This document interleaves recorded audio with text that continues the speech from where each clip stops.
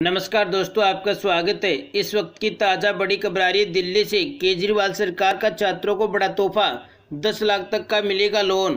केजरीवाल सरकार ने अपनी घोषणा में कहा कि ऐसे छात्र तो दिल्ली के सरकारी स्कूल में पढ़ते हैं और उनकी आर्थिक स्थिति कमज़ोर है। उन्हें लोन में मदद दी जाएगी।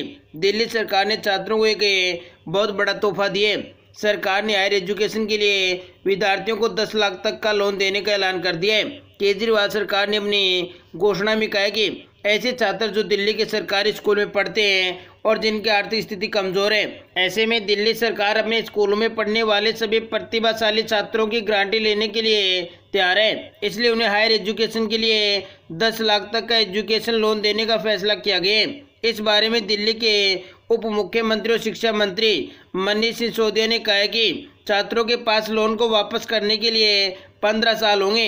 इस अवधि में छात्र अपने लोन की धनराशि चुका सकते हैं। इसके अलावा दिल्ली के उप मुख्यमंत्री और शिक्षा मंत्री सिसोदिया ने यह भी ऐलान किया कि नेट जैसी प्रतियोगी परीक्षाओं के लिए छात्रों को निःशुल्क कोचिंग प्रदान करने के लिए भी काम कर रही है।